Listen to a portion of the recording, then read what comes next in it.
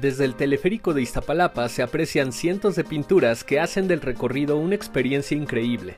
Aunque es incómoda la idea de que miles de personas vean tu azotea, la banda de Iztapalapa le dio un giro radical. Y es que los vecinos, la alcaldía y diferentes artistas urbanos se sumaron para colorear el barrio más poblado de la ciudad.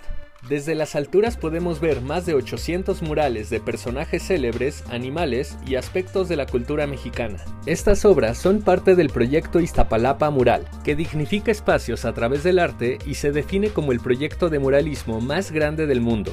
Si no has apreciado estos murales, date el rol por el cablebús. El recorrido va de Constitución de 1917 hasta Santa Marta. Te aseguramos que verás más murales que trapitos al sol.